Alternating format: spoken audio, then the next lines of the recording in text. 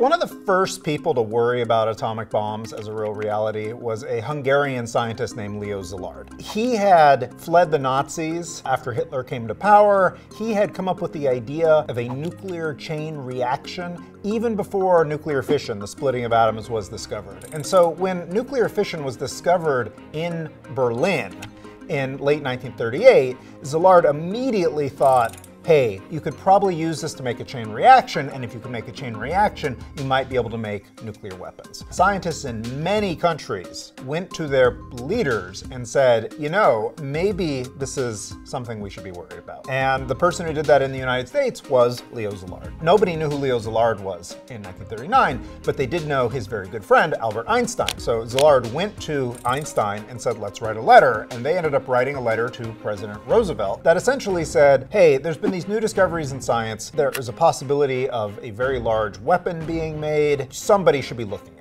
this. Roosevelt was given this letter and he agreed, sure. He created the Uranium Committee, a very small scale research project where the goal is to just find out are atomic bombs going to be a problem. Einstein was a name that they were thinking of making on the Uranium Committee. You can actually find versions of their early notes on this, but then they cross it out. And they decided not to bring him in on the project. And they had sort of two reasons for this. One was Einstein's politics were pretty far to the left of what was considered proper at the time. And this was enough to get him a very large FBI file by itself. The other reason is he is an older scientist at this point, and the kind of work that Einstein did is not about practical, how do you build a plant to make enriched uranium. It's not that kind of physics. Even his famous equation, E equals mc squared, it doesn't really tell you how to build a bomb. It doesn't even tell you if a bomb could be built. It just tells you that an atomic bomb is not going to violate the laws of conservation of mass and energy, which is a useful thing to know.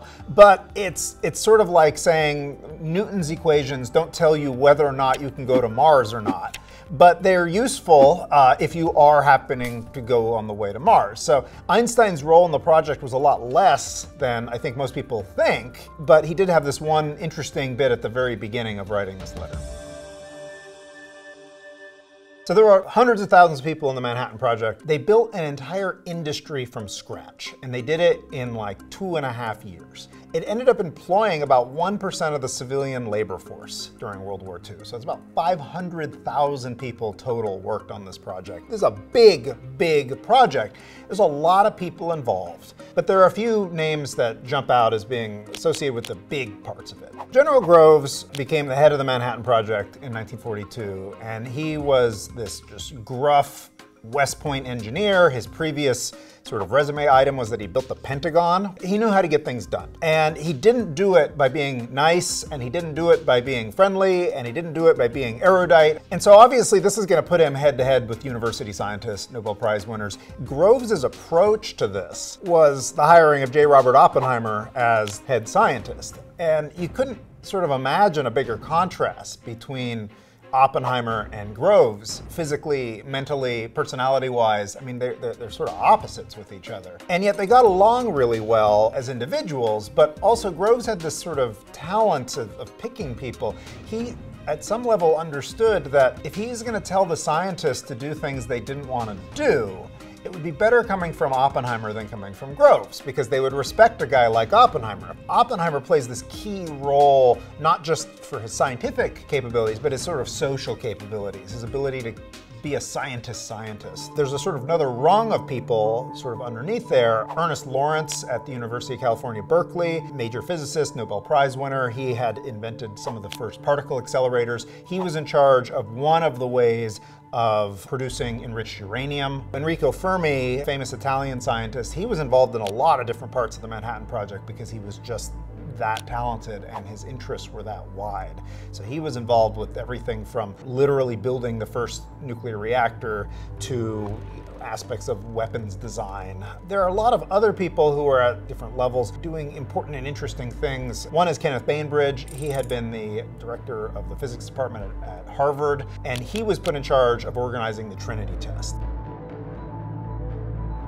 One of the people who was an administrator on the project and also an engineer is Vannevar Bush. He had been the vice president of MIT and he was the head of the Carnegie Institute. And during World War II, he had convinced Roosevelt to basically put him in charge of organizing all defense scientific research during World War II, which ended up including the Manhattan Project. So he was one of the people who really saw the big picture. And then you also have some really big names of people who maybe they weren't as technically important, but played important sort of broader roles. So Niels Bohr, famous Danish scientist, uh, came over in the middle of the war, encouraging other scientists to think about the long-term policy implications of these weapons. And Groves doesn't want any of that. He wants them to be very narrow, focused, technical sort of workers. The scientists don't like this at all. That's not how science works. Like nature doesn't concentrate itself in these tiny little pieces. You sometimes need to know something about some other field to answer your question. The head of the Princeton physics department, Henry DeWolf Smyth, he was in charge of two different parts of the project, and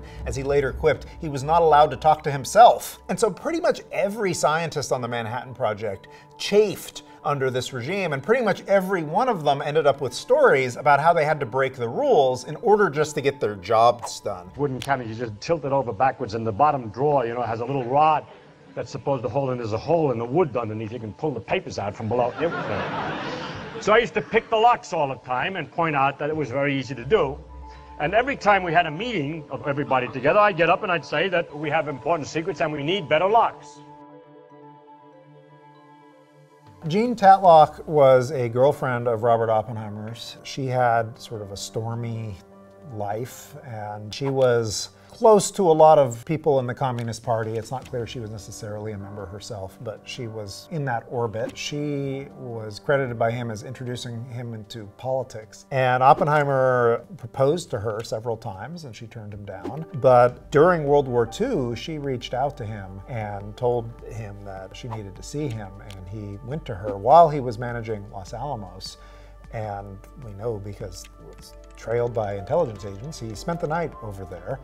And she then apparently killed herself uh, not too long after that. And there's actually some interesting speculation by people who knew her and were around there, even within the Manhattan Project, that it wasn't a suicide, that this had been maybe somehow done by one of these intelligence agencies who did not think that the director of a nuclear weapons program should be associated with somebody like this.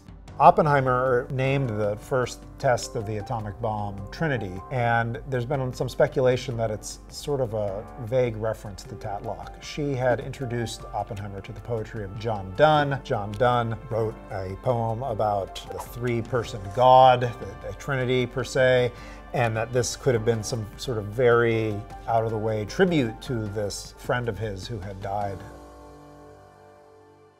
in the United States, the president is the only person who can legally order the use of nuclear weapons. This was not always the case. Before that, it was being essentially run by the military, and Truman was sort of seen as a peripheral figure. He does get involved in the question of where to drop the bomb. And he is very crucial to the choice of Hiroshima, as opposed to another city that the military wanted to use it on, Kyoto. He doesn't sit there and say, should we use the bomb, should we not? That's a myth. Uh, he assumes, like everybody around him, that of course you've made a weapon, you're going to use it, no question. But President Truman did not take control of nuclear weapons until August 10th, 1945, so the day after Nagasaki. Most of the time, if you talk about Truman and the atomic bomb, you sort of end with Hiroshima and Nagasaki, but you want to start there because Truman ends up putting into place so many policies that carry through to the present day, and he's more personally involved with some of these than I think people realized. It could have gone different directions. If you put a different person in that office, you may have had weapons be used in the Korean War. You may have had other places where the military would have had more influence versus civilians. Truman is very important in some of these key foundational decisions.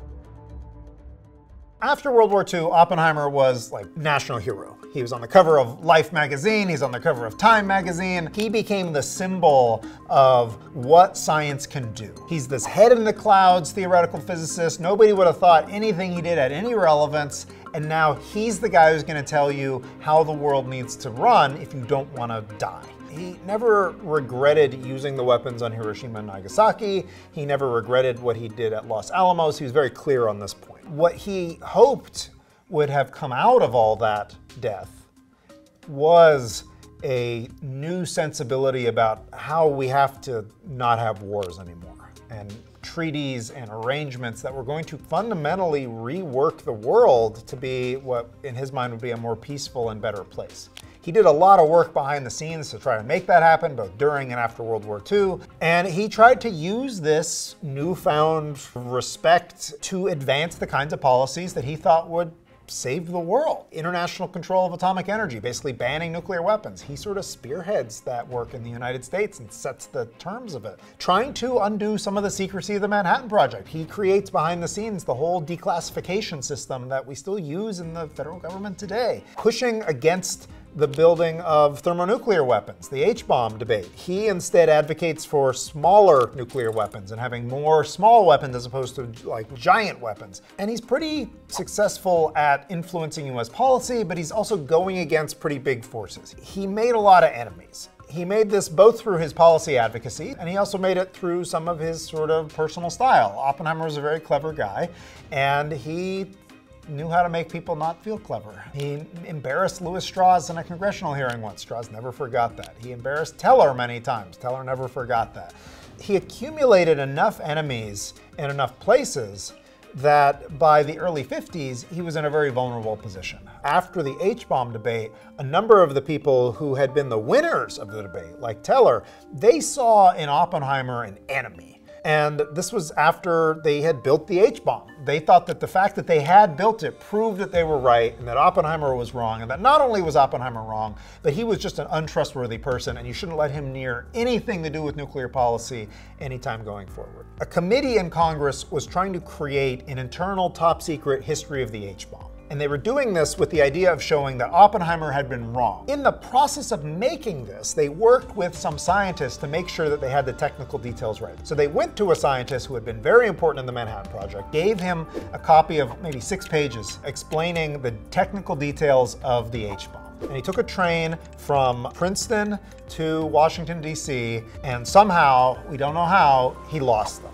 This is a major scandal. You lost the secret of the H bomb. This became this sort of major investigation. They never found the pages, they never figured out what happened to them. The guy who is organizing this project, this congressional staffer, he becomes singled out as like congressional staffer run amok. He gets fired. He had been one of Oppenheimer's enemies. The whole point of this was to attack Oppenheimer. And he starts thinking, who did this benefit? Who did losing these documents benefit? It benefited Oppenheimer. And so he writes a letter to J. Edgar Hoover in which he says, I think there's more reason than not to believe that Oppenheimer is a Soviet spy and always has been. Now, this is nonsense. Hoover knows this is nonsense. Like, nobody really thinks that Oppenheimer is a spy, but this becomes the opportunity. Strauss takes this letter, he goes to Eisenhower, he says, you know, I, I think we need to make a wall between Oppenheimer and everything else until we find this out. And this sets off this procedure in which Strauss goes to Oppenheimer and says, hey, we're gonna, we're gonna take away your clearance. And you can either just accept that or you can challenge it. You have a right to a hearing. And Oppenheimer says, I want the hearing, I'm gonna fight this. And this leads to many months of a secret hearing in which Oppenheimer and a lawyer are basically being confronted with this mountain of FBI documentation about everything Oppenheimer has ever done wrong in his life or any decisions he made that might look dodgy in retrospect. And there were many. And in the end, this committee decided that his judgment was not great and maybe he shouldn't have access to secrets anymore and they stripped him of his clearance. He never really recovered from that. That, that was sort of, for him, the ultimate tragedy of, of his life was becoming so influential and then having it all taken away from him.